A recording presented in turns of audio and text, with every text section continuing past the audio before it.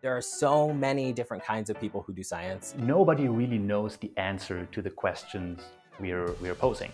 How you as an individual interact with other individuals, and specifically, what's going on in your brain when that's happening. Development and application of molecular tools for accelerated breeding of disease resistance in squash. How brains cope with different environments and how they adapt to the different contexts we're in. How different environmental exposures during pregnancy, how does that impact mom's health as well as baby's health? Applying mathematics and uh, statistical tools to understand biological data. To discover a brand new antibiotic. So we always need to be ready to dive into the unknown. When you're in the lab and you run, you run the experiment and you know you made a discovery because the results are just so striking. You're the first person to see this new data and how it all comes together.